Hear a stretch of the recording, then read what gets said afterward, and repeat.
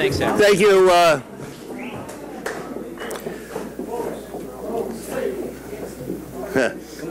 Come on up here.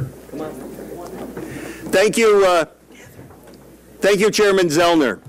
Um, A little while ago, uh, my opponent, Lynne Dixon, called me to uh, congratulate me on uh, on my victory, concede the election. I want to thank her for, for doing that. Uh, I will also want to uh, introduce uh, some members of my family. My, my wife Debbie is, this is, this is Debbie. Uh, She's here. My son Matt is representing uh, himself and uh, his, uh, his two brothers and his sisters, as well as the five Hardwick grandchildren and one great-grandson. So Matt has got all that on his, uh, on his shoulders. This campaign kicked off 297 days ago on January 10th, Sunday, uh, when I released a video online announcing my candidacy for Erie County Comptroller. That video was filmed a few days earlier in Niawanda Park at 11 a.m. in the morning on January 6th. After that, I went home to my house and I turned on the TV and I watched in horror, like so many Americans, at the insurrection, the assault on our Capitol in Washington, D.C. That same spirit of divisiveness that led to the assault, the attack on the United States Capitol, for several years has found its home in the Erie County Comptroller's Office. Tonight, that spirit is no longer welcome in the Erie County Comptroller's Office. This campaign ended that. There are many to thank for this victory. 11 months ago, I made the second best decision of my life uh, when I asked Jessica Schuster over here to be my campaign manager.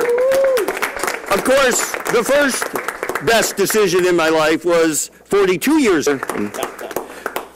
But Jessica put together a team, including folks that need to be thanked here tonight. People like Tim Callan, Eric Wyant, Rebecca Newberry, Susan Gregg, Jake Wagner, my friend uh, uh, Bernie Charity from Binghamton, who did a lot of our media, and of course Marc Odien of WNYmedia.net. We also had some legal help on this campaign, uh, pre-primary. Uh, the best election lawyers in this town who may be able to find some work in the next uh, few weeks. We don't know. Uh, we'll see.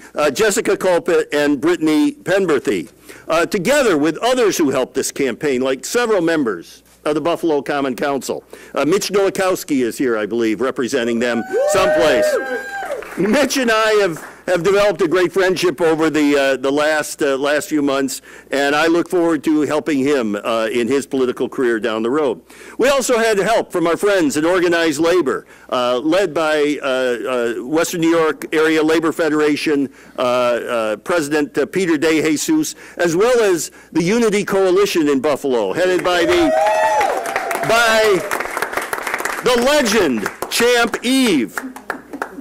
Also grateful uh, to endorsements from Elfrida Slaminski, uh, Tom DiNapoli, uh, State Comptroller, and former Buffalo City Comptroller Andy Sanfilippo. And of course, Chairman Zellner, to you and everything that you have done for me and for our campaign and by extension for the people of Erie County, along with your team, folks like uh, Kat and Jake and Melissa and all the volunteers. They all together made this victory possible and helped the politics of hope ETA triumph over the politics of fear. This will lead to the culture change, the culture change that I've talked about in the comptroller's office come January 1st. A change based on respect. Respect for the important work that's done in that office, respect for the people, the trained professionals who do that important work, and most importantly, the people of Erie County, regardless of race, religion, or political party. Thank you all. All right.